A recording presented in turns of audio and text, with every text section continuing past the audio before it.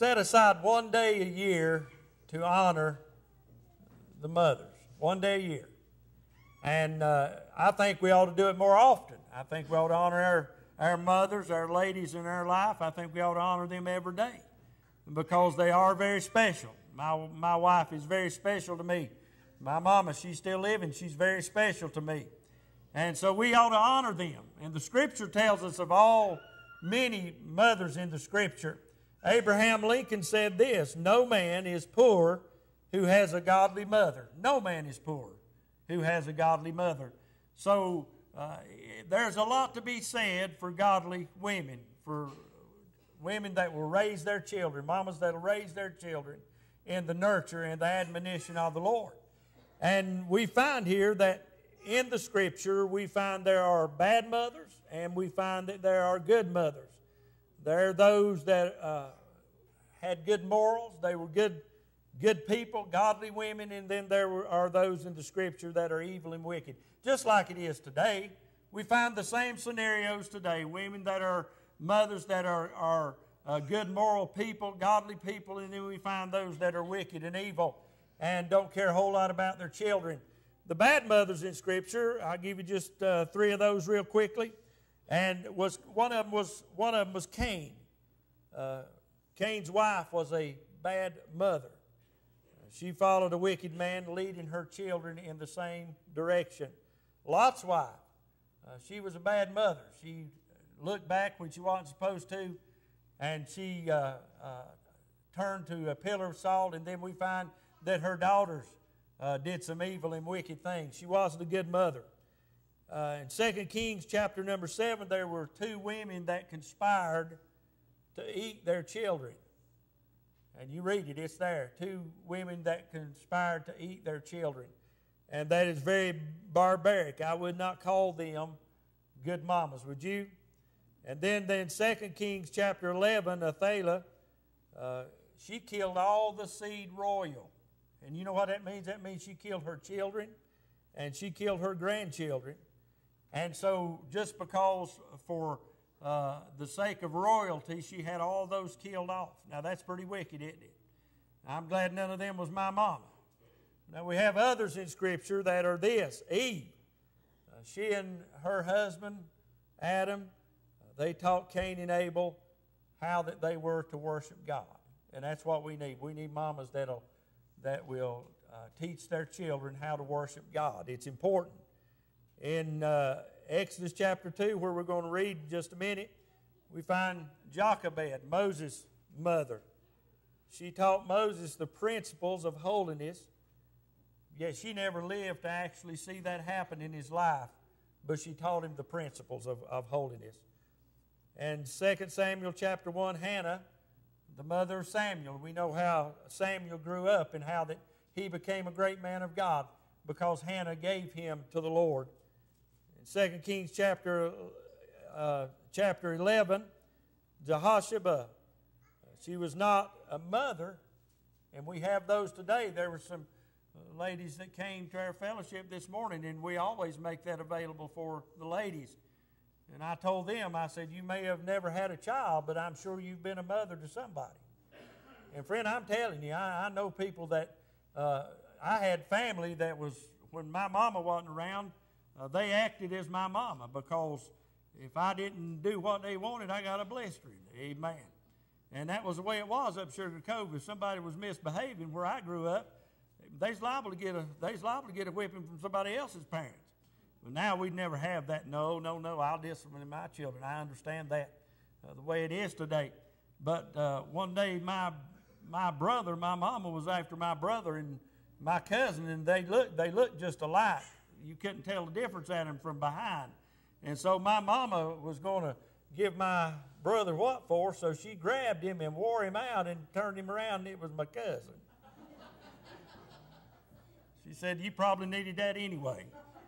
I don't know if my brother ever got it or not, but I know. But hey, you know, we need people that that uh, will help us in being moms, and I'm sure some of these ladies, even though Jehosheba, uh, she was not a mother, but she acted like one and uh, saved Joash from Athaliah and and hid him six years in the Lord's house. And then we see Luke and Elizabeth and Mary, uh, and the mother of John the Baptist. We see all these as, as good mothers. So there's more good in Scripture than there is bad. But we come to this person called Jochebed in, in Exodus chapter number 2. Let's read that. And there went a man of the house of Levi and took to wife a daughter of Levi. Now, before I get to reading, let me tell you what the story of the setting is. Uh, Pharaoh had ordered that all the baby boys be killed because they were going to grow and get mightier than the, than the Egyptians. And then if, a, if an enemy came along, they were afraid that the Israelites would fall in with the enemy to defeat Egypt. So he said, We're going to kill all the, all the baby boys off. So here's where we're at. Here's the setting. So, uh, and the woman conceived and bare a son. And when she saw him that he was a godly, a goodly child, she hid him three months. How did she hide a three month old baby? How did she hide him without anybody knowing that young one was around? Mine screamed for three months. I mean, they mine screamed for three months solid. It seemed like there was no sleep. there was nothing, you know, nothing that that uh, we could do sometimes to quiet them down. My wife get a hold of them, they just coo at her, and, and they get so quiet when she would. I pick them up and they'd scream. So I don't know how she, and that's been a question to me how that how that she hid that child for three months, but she did. And when she could no longer hide him, now you think about this. This you're three month old. We don't have, do we have a three month old here? Pretty close. How old's that young? Six months. That's close enough. Could you do what Jochebed did to your child? And you think about it. Now, Jochebed, she took little baby Moses, who she hid for three months, and then it got so big she had to do something because she was afraid that it would be found out and, and uh, little baby Moses would be killed. So she went out and she got a bunch of a bunch of reeds and a bunch of, of straw, and she wove a little ark, a little boat for the three month old. Be pretty good size, wouldn't it? So she and uh, God had to be in all of this because she wove that and she put it all together and she made it where it was, you know, she put pitch in it. Well, let me read you the story. And when she could no longer hide him, she took for him an ark of bulrushes and daubed it with slime and with pitch and put the child therein. And she laid it in the flags by the river's bank. So she put the little baby in the little, you know, the, in the little uh, box, in the little ark that she built, and she took him down. Now, the Nile is a river infested with piranhas and crocodiles and big old man eating fish. But she took that little baby and put him down there in the reeds because she didn't know what else to do. But God had a plan in this all the time. Now Moses' mother was who? Jochebed. That was Mo, that was Moses' mother. So we don't read about her, but but right here and in a couple other places, all we know about Jochebed. But how God works this thing is this.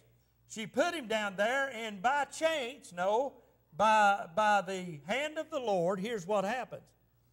And his sister, whose sister? Moses' sister. Moses' sister. Stood afar off to wit what would be done to him. And the daughter of Pharaoh came down to wash herself at the river, and her maidens walked along by the riverside. And when she saw the ark among the flags, she sent her maid to fetch it. I just see her walking up there, and maybe, maybe, maybe Moses, maybe he cried a little bit.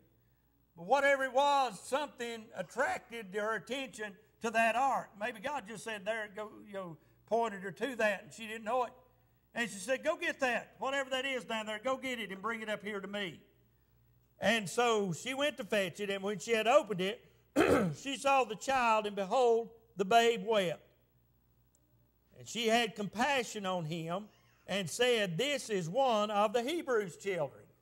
So she knew immediately who it was. She said, This is one of the Hebrews' children. Then said his sister, There's the sister that he'd been watching. She comes on the scene, Moses' sister, and said, Shall I go and call to thee a nurse of the Hebrew women that she may nurse the child for thee? Now, why this happened, Josephus, this historian, says that many times they would try to find, if they found a child like that, they would try to find someone in their family to nurse the child.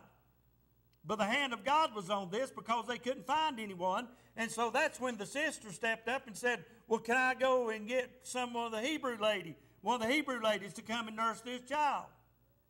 And here's what she said. And Pharaoh's daughter said to her, Go. And the maid went and called Moses' mother, called the child's mother, Jochebed. And uh, she came, and Pharaoh's daughter, uh, or and Pharaoh's daughter said unto her, Take this child away, and nurse it for me, and I will give thee thy wages. And the woman took the child and nursed it. Jochebed, Moses' mother, took Moses and nursed Moses, her child, that she loved dearly, that was a goodly child, and nursed and raised that child and received wages, got paid to raise her youngin. Oh, you ladies say amen. That'd be a deal, wouldn't it? Because you all aren't paid enough when you raise your children. I'm, you know, I'm very leery of people that say it's my wife stays home and she don't work. Don't ever say that to me. Because I tell you, they're worth about, if they got paid what they was worth, they'd be worth about $30 an hour for all the multitasking that they can do and that they do do. So you listen, you hold your wife and your mom in high esteem for all the things that they do for you and all the ways they take care of you. And children, anytime you can help mama, you little ones listen to me, you children listen to me. If you're 30 years or younger, amen, you listen to me. And the older ones, it won't hurt you either. But the little ones, especially, the children especially, if mama needs help and you can help mama, you help your mother. You hear me? You help your mother. And you treat her the way that you would like to be treated because your mother loves you and she would give her life to protect you. She would do anything she could to protect her child. You don't want to mess, you know, a couple of things you don't want to mess with, and that's a bear with cubs and a mama with children. I think I'd rather face the bear with cubs. But here's Jochebed, the, uh, one of the great mothers in Scripture, how that she wound up by obeying God rather than men. She wound up nursing her own child, raising her own child. Pharaoh said should be killed she raised him and got wages for it. And uh, verse 10 And the child grew, and she brought him unto Pharaoh's daughter, and he became her son. And she called his name Moses, and she said, Because I drew him out of the water. So when he got when he got old enough, uh, she took him and he become uh, Pharaoh's daughter. But he remember on inscription, I'm not going to get to all that remember on over in Scripture, he refused to be called the son of Pharaoh's daughter. He never could forget his mama. Never did Moses forget his mother. Now again, I don't know what what you know what else become of that, but uh, you you read the story and you'll find out she never lived to see the results of what God did with Moses. So let me give you a few things about her. She was an Israelite. She was one of God's chosen people. This is who she was. She was one of God's chosen people. Uh, her husband was Amram, and together they were willing to defy Pharaoh to save their child's life. Now, I believe in obeying the laws of the land, mostly. The speed limit is kind of an iffy thing with me. I obey the law, but not to the letter of the law. And I'll just tell you right up. And, I, and everybody, everybody in here is that way. Amen? But I'll admit it, and you might not. But I try to obey the laws of the land and do what I'm supposed to do. But if there comes a time where the laws of man are in opposition to the laws of God, we, as the people of God, have the responsibility to obey God rather than man. And that's exactly what Amram and Jochebed did. They determined that they were going to obey God and not obey man and have their little boy killed. Can you imagine doing such a thing? Can you imagine having your child killed? I mean, the, the, the midwives of the Hebrew children, that's what Pharaoh told them, said, you kill every man child that's born. And they didn't do it because they feared God rather than man. They feared God. And they made up the excuse, look, when by the time we get there, uh, they're already delivered of a child. And, and uh, uh, you know, they know what it is, and we can't do anything about it. So they tried their hardest. They even went to the place of, of putting the, uh, you know, putting the, the wives of, of the Israelites that were about to have child, they put them in a place so they could watch them in trying to destroy God's people. But the devil's always been against God's people. And so that's what they were trying to do. But they had rather obey God than man, so they hid Moses. Then we see that she had a personal relationship with the Lord. How do you know that? Because she knew what was right for her to do with her child and God. Now, moms, let me tell you something today. There's things that you should know that you must do in order to raise your child godly. We're living in a world where godliness, godly people are getting further and further apart. Now, I'm not talking about just raising your child come to church occasionally. I'm talking about raising them as godly children, praying for them every day, taking to the Lord in prayer every day, having a burden for them that when they get of age of accountability, that God will save them by His grace. We should train up our children. And Dad, you got as much a part in this as Mama. You'll, you'll get it on Daddy's day. Amen. But listen, moms, you must love your children. You must care for your children. And you must raise them in a godly fashion. But to do that, you yourself must have a relationship with the Lord. You've got to know what He wants for your life so that you can lead your children. Every child that's born deserves a godly mother that has a relationship with God. We see very little of that in our society. I see where I work, I see all kinds of, of moms that come in and they don't raise their children. I don't know what you would call what they do with them. They let them raise themselves. But I guess they just kind of chaperone them through life. And I've watched them as their kids have gotten older, and, and the ones that are raising their children that way, the meaner the children are getting. And the more of a fit they pitch when they don't get what they want. Now, my mama wasn't afraid to tell me no. And I knew what it meant when mama said no. Oh, I might try it a time or two, but when that final no came, I knew when that final no was, and I didn't try that no more. Listen, friend, we need godly mothers that will raise their children in a godly life. Number two,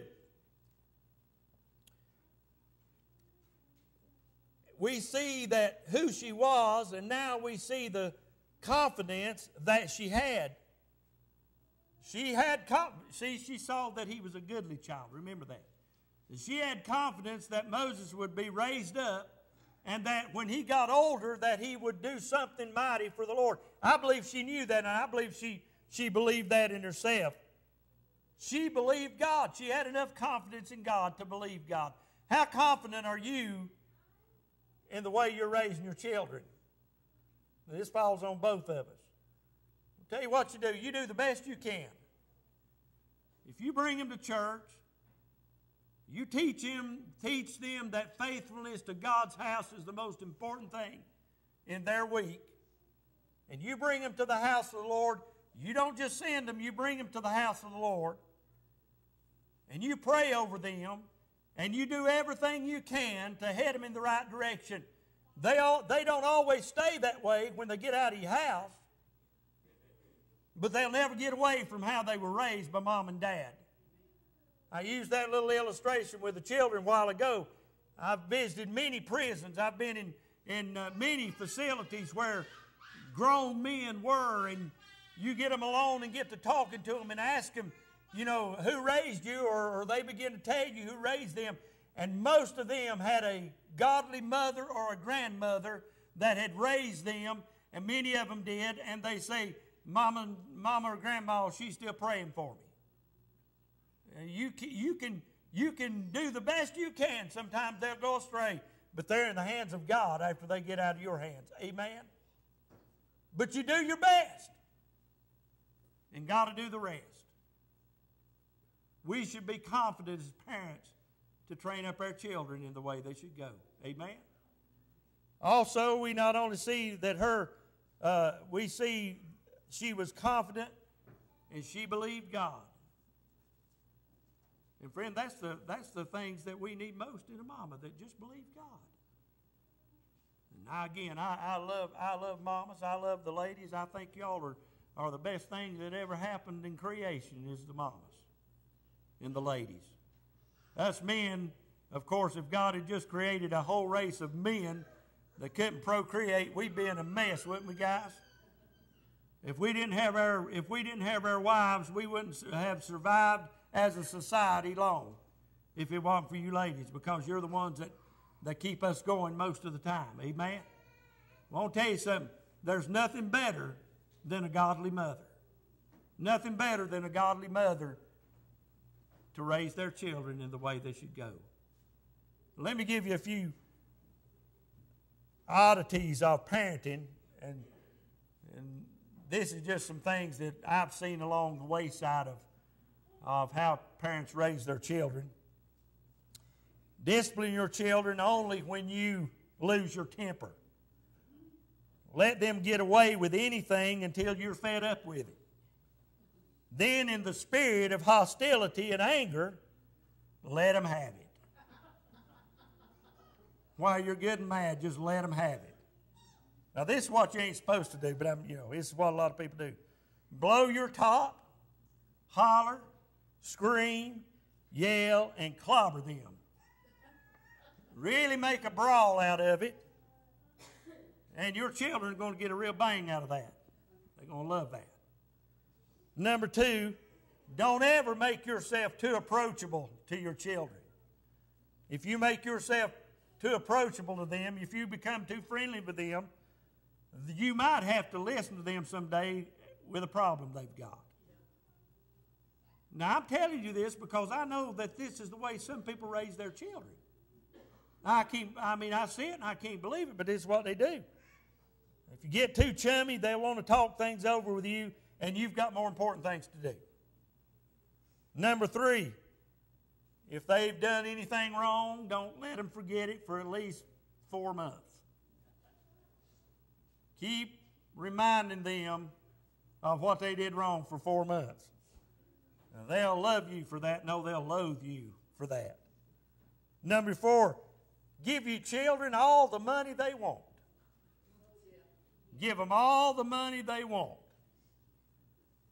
Don't make him do anything or her do anything to earn that money. How many of you had to work when you was a kid? Raise your hand if you got money. Now you're doing good. You say, Well, I want better for my children. I do too, but I want them to learn to work. And so, you know, make them do things around the house and, and uh, make them do some things for nothing, but let them do some things around the house to earn a little money. Teach them what it is to earn money. They'll appreciate it more if they earned it themselves. So give them all the spending money they want. Don't make them earn it. Large quantities of money, and I've seen this in, in people's lives that I've hired to work for me. Uh, large amounts of money will, will substitute for love. And after a while, all they're going to want is your money, and, and, uh, and uh, that's all they care about you is having your money. You say, Preacher, that don't happen. Honest to me, you, you School teachers probably see it. A lot of you probably see it, but it does happen. People just flood them with money. Just give them all the money, give them all the nice things, and they grow up and think everything should be handed to them. They should get everything for free without having to work on it. Uh, moms and dads, you all don't get together and how to discipline your children. You do it one way and daddy does it another. You think that's the right way to go? I don't believe so. But you got to, as parents, you got to raise your children uh, in the right way. You know why? Because if my youngins done this, my youngins would do this to me, and, and of course, me and my wife was on the same page. They'd go ask Mama if they could go do something, and Mom would say no. Or they'd ask me, and I'd say no. Well, they thought, well, we'll get around that, so they'd come and ask me. After they asked Mom, and I said, What'd your mama tell you? No. Well, you're not going to go then. But see, sometimes, sometimes kids ask mama, and mama say no, and they go ask daddy, and daddy say yes. That's, that's real encouraging. That, that really keeps things straight, don't it? Moms and dads get together on raising your children. If you don't want them to go do something, amen, both of you agree on it, and, and, uh, and if you don't know what to do, if, it, if you come to you, dad, and say, Dad, I want to do such and such, and you don't know what to tell them, say, go see mom. Moms, you do the same thing. No, uh, you, you train up your children to, to love the Lord and serve the Lord and teach them to honor you. If you love them enough, they'll honor you. You don't beat, you don't beat children into honoring and loving you. You love your children, you spoil them rotten. You spoil your youngins rotten. But in all the spoiling that you do, all the loving you can do, I don't believe you can hug a child enough. I don't believe you can hug on your children enough, and I don't believe you can tell them you love them enough. I don't, I don't believe you can do that uh, too much. Some people say you can't. I don't think you can. Because I tried my best. It didn't hurt a thing. Amen? But you love on your children, you spoil your children. Mamas, you grab them up, you hug them, you love them every chance you get. And you teach them the right principles of life. And you teach them right for wrong, from wrong. And I'll tell you something God will use them for His glory if you'll train up a child in the way they should go. One more thing never let the youngins think for themselves. Don't ever let them do that. They might decide something on their own. Uh, they don't have the ability to think for themselves, so don't ever let them think for themselves. They might make a, a decision right or wrong, they might make a decision that affects them in some way or the other. You got to learn to make decisions. How many of you have always made perfect decisions in your life? Raise your hand. Boy, I was hoping somebody would so I could come and get some counseling. How many of you have made some bad decisions in your life? Now, what did it do for you? Did it help you the next time that same thing come up? Yeah, I don't, you know, I don't I don't say you ought to make bad decisions, but you you you're going to do it. You're going to make some bad decisions, but you learn from those things, and that's how you learn. Now you, when your children are coming along, always treat them with suspicion. What are you into now? They got real quiet. What, what are they doing? Don't yell at them. Just get up and go see what they're doing. I yell at the dog when he gets quiet, but I, youngins, you get up and go see what they're doing. So don't always, don't, don't ever, don't ever treat them uh, other than with suspicion because you never know what the sneaky little characters are up to. Now you do all these things. Now, agreeably, y'all agree with me. This is a terrible way to raise children. Am I right? Now, I hope you, I hope you got that right. I hope you don't tell you, oh my goodness, what if you got this wrong? What if you think that I'm telling you this is the way to raise children? No, it's the way you don't do it. Amen? But now, if you do raise your children this way, they, if they turn out well, if they turn out good, it won't be your fault. It'll be a miracle of God. So remember these things. Mamas, love your children. Children, everybody, all you little kids, look up here at the preacher. Y'all looking at me? Love your mama. Love your mama. Love your mama. You hug her every day. You give her a kiss on the cheek every day. You go out and pick her some flowers every day that you can. Love your mama because your mother loves you. All this has to do with godly living, with godly mothers. Some people don't love their children because they don't love God. Some people don't know how to godly love their children because they don't know the Lord. Men and women, if you're here and you don't know God today, believe on the Lord Jesus Christ and thou shalt be saved. Jesus died on the cross for you. He shed his blood for you that you might be able to go to heaven when you leave this world. Except you be born again, you cannot see the kingdom of God. if you're here today lost without God, rest assured, friend, if you leave this world today, you'll die and go to hell lost without God for eternity. Father, we thank you for the word of God. Blessed I pray. God, I pray right now you'd help us, Lord, in the altar call. God, if you've touched anyone's heart today, God, I pray that they be receptive, Lord, to your convicting power. Lord, that they might come to know Thee if they're lost and if under conviction, Lord, of the Spirit of God for un, an ungodly lifestyle. God, may you touch them with the power of God that they might turn to Thee. In Jesus' name, amen.